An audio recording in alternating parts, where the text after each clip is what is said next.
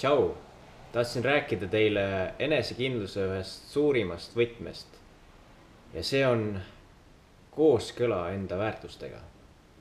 ehk kui sa elad kooskõlas enda väärtustega, nii nagu sa tõeliselt tahad ja sisimas usud, siis sa oledki enesekindel.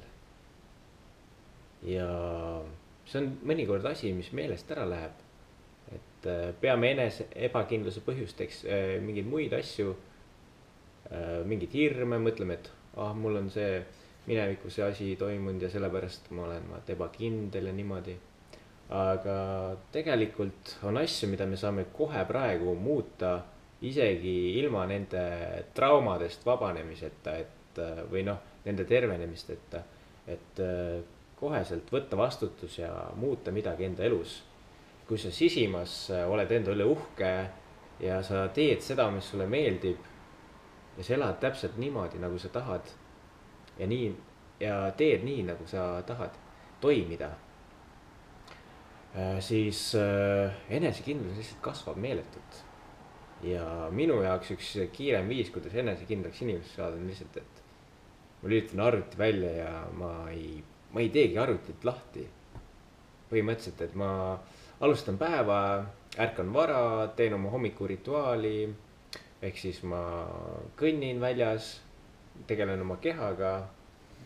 siis hiljem noh, loen raamatut näiteks või siis teen seda videot praegu ja super tunne lihtsalt on. energia kasvab ja siis tuleb ka enesekindlus tagasi, et selle juurest toimib nagu üks huvitav fenomen, et kui ma endale valetan, siis see paistab ka suhetes välja, teiste inimeste juuresolekul. Ehk siis äh, see on justkui äh, alateadlik au, mis keelab mul olemast enesekindel teiste juures siis, kui ma tegelikult enda sees ei tunne seda.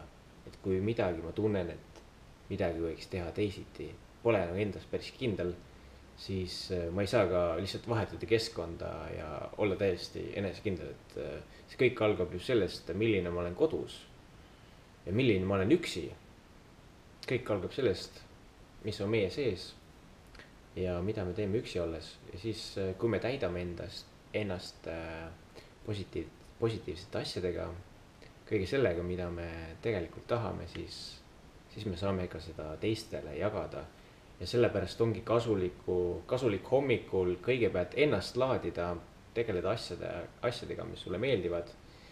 Ja siis sa saad ka jagada seda energiat välismaailmaga. ja nii sa saad ka olla enesekindel. ma loodan, et sellest oli kasu ja näeme järgmine kord, tšau